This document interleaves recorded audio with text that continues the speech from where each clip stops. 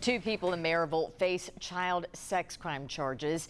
David and Cayla Drinnen are being held on more than $1 million bond. Investigators say David Drinnen drugged and raped a 14-year-old in their home, and Cayla Drinnen attempted to pay another 14-year-old to perform indecent acts on Drinnen, according to authorities. Both were already on probation for other crimes. They are expected in court on August 21st.